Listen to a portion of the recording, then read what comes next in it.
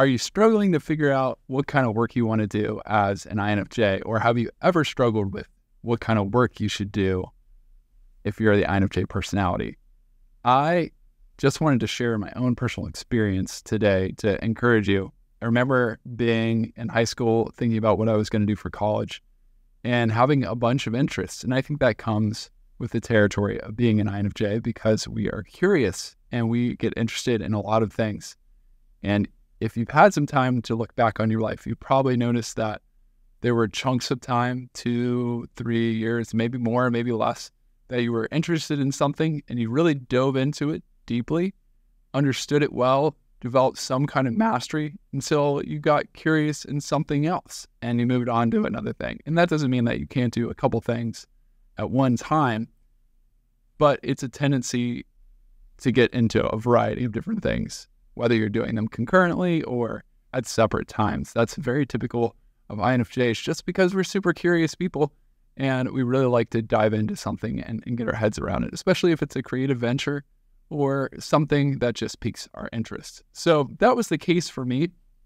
When I was in high school, I remember really being interested in living things and catching animals and identifying different species. I remember enjoying playing guitar and, and writing, fishing, a variety, a variety of different things. I, I definitely liked people. I liked helping people work through challenges that were in front of them, problem solve, smooth out relationships, find peace, get along better, that sort of thing. So I had a variety of interests. Some were more teaching bent, some were more counseling bent, some were more um, environmental biology bent, science bent.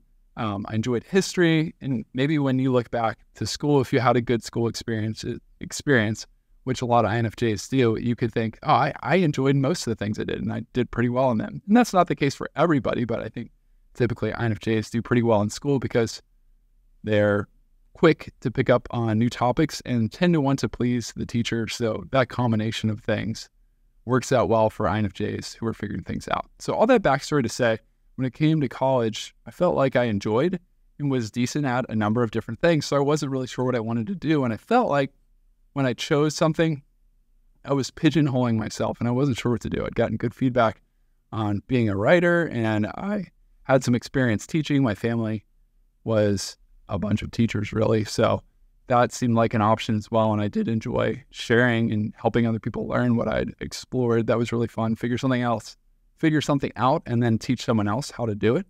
I enjoyed that for sure. So I had uh, several different options in my mind, and, and you know, counseling was always an option as well. I wasn't sure which one to do, and I ended up going with teaching, and doing that just because it was the most practical option. I like to learn. I like to tell other people about it. The classroom management part, that was challenging for me. So I, I moved through college and actually really enjoyed college because it was like the perfect environment. I could learn a bunch of things, uh, write about them, it, and I could do it in a quiet environment. It was it was so awesome. And then I got into the real world and I'm managing a classroom of students. And that was super, super challenging for me. I mean, I still enjoyed the learning, but it felt like most of what I was doing was taking care of a ton of tasks all at the same time, spending a bunch of energy meeting people's demands and making fast decisions over and over and over again.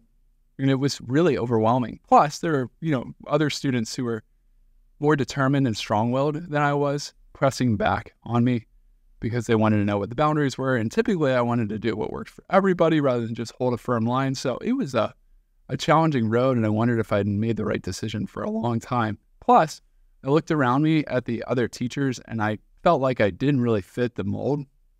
So that launched me into trying to figure out who I was and why I was doing everything. And then I come to find out about Myers Briggs personality from my mother in law, who is an INFJ as well. Got into that thought I was a variety of personalities.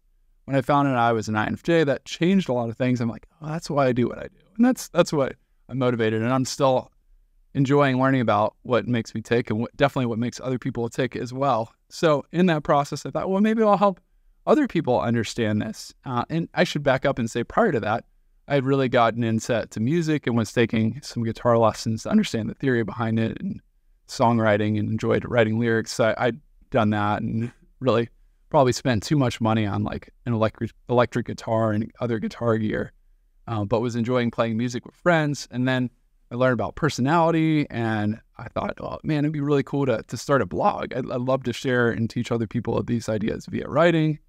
Uh, and then that led to a podcast. I loved doing the podcasting. It was uh, such a smooth transition from all the music exploration that I'd done and like GarageBand on my Mac, and it just tied in really nicely. So I started messing around with podcasts, and then I was learning as I was blogging about how people were able to reach other audiences with videos.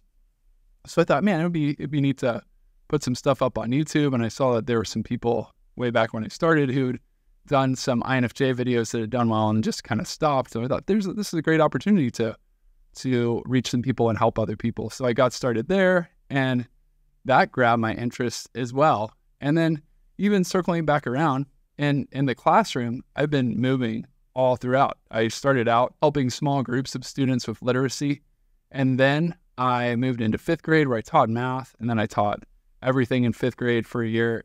And then that led to third grade, mainly because of like some classroom management challenges. I moved to third grade.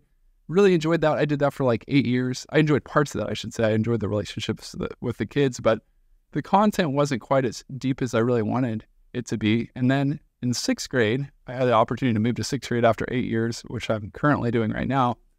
And this, I think this is my fourth year doing this. For the first, no, maybe it's my, this is like my fifth year, I think. For the first three years, I taught just writing and grammar. And that was really cool because I loved writing and grammar and I learned grammar a whole lot better. I really enjoyed that.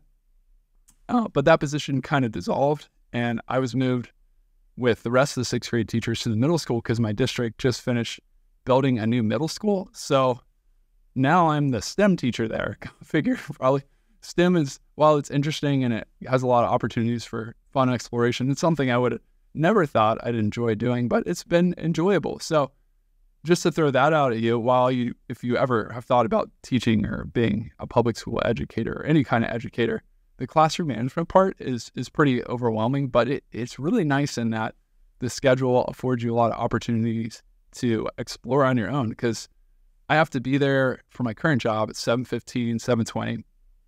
By the end of the day, I can go at 3. Now there's stuff I need to do outside of the work hours for sure, but I definitely have summers off. And again, I'm I'm learning and I'm helping other people.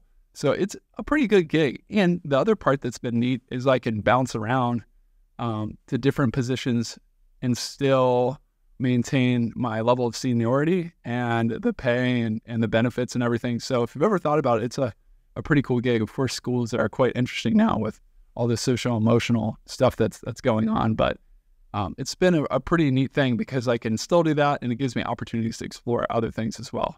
But I share that because I know a lot of people as INFJs have just kept exploring different things. And if, if you feel like that's messed up or wrong or whatever, you need to do obviously what works for you and your family and your financial situation during different times. And that, that requires wisdom. But I think it's okay to to jump around and explore. And I'd say it's typical.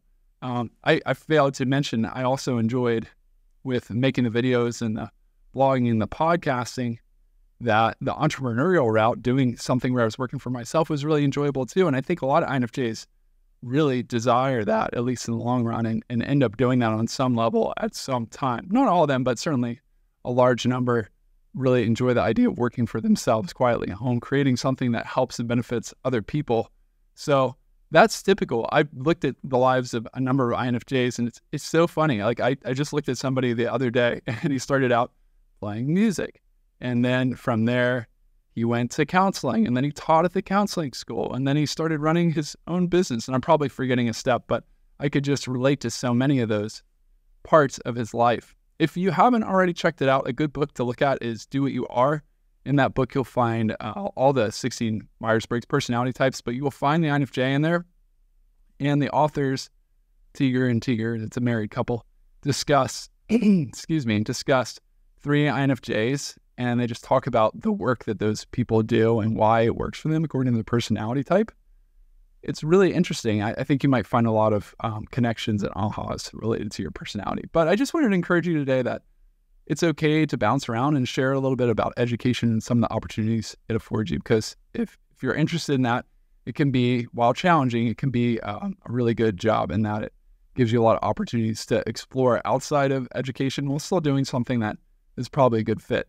And, and it can be draining as well, but but typically gives you a lot of other freedoms too. I would love to hear about your career paths or career conundrums and the comments. I think we can really encourage one another and help each other out. So if you have uh, your own stories or your own challenges, would you throw those down in the comments below? I would love to, to check them out and read them. I'll see you next time.